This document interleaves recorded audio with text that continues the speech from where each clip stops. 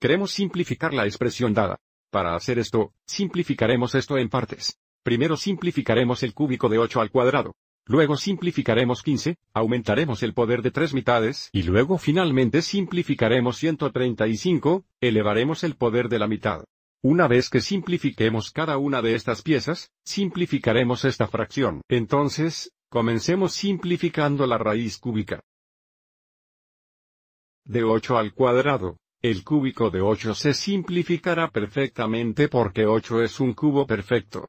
8 es igual a 4 por 2, y 4 es igual a 2 por 2, entonces 8 es igual a 2 en cubos, entonces podemos escribir esto como la raíz del cubo de 2 cubos al cuadrado, por lo que dentro de los paréntesis, el cúbico de 2 cubos se simplificaría a un factor de 2, pero entonces estamos cuadrando esto, lo que nos da 4. Ahora simplifiquemos 15 elevar el poder de 3 mitades. Para hacer esto, escribiremos 15, elevaremos el poder de 3 mitades en forma radical donde si tenemos a, eleva la potencia de m dividida por n esto es igual a la raíz enésima de a a la m, Así que observa cómo el denominador del exponente racional nos dice el índice y el numerador nos dice el exponente.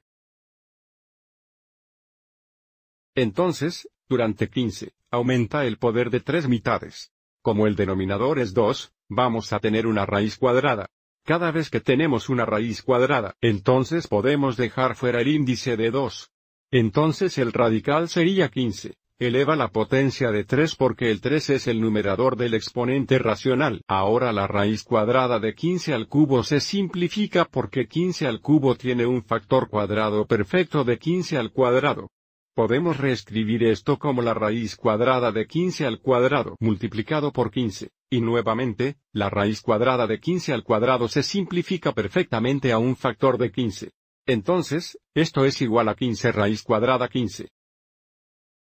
Y ahora vamos a simplificar 135, elevar el poder de la mitad, entonces 135, eleva el poder de la mitad en forma radical, nuevamente porque el denominador del exponente es 2, vamos a tener que raíz cuadrada 135, elevado a la primera.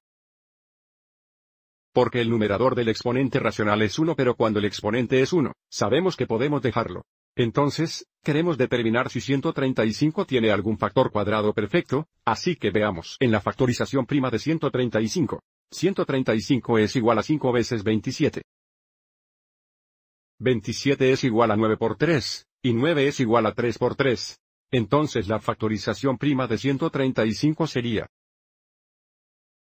3 veces 3 veces 3 veces 5.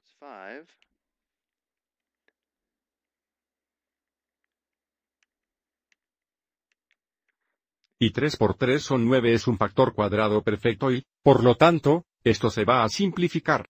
La raíz cuadrada de 3 por 3, o el cuadrado de 3 cuadrados es igual a un factor de 3, entonces se simplifica a 3, raíz cuadrada 15. Y ahora juntemos todas las piezas y simplifiquemos esta fracción. Sabemos que la raíz cúbica de 8 al cuadrado es igual a 4. Sabemos que 15 a las 3 mitades de potencia es igual a 15 raíz cuadrada 15. Y sabemos que 135 a la mitad de la potencia es igual a 3 raíz cuadrada 15. Y ahora podemos simplificar.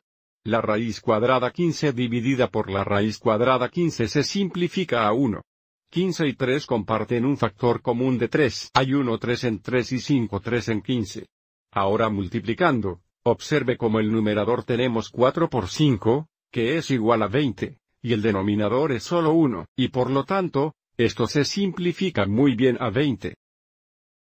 Espero que hayas encontrado esto útil.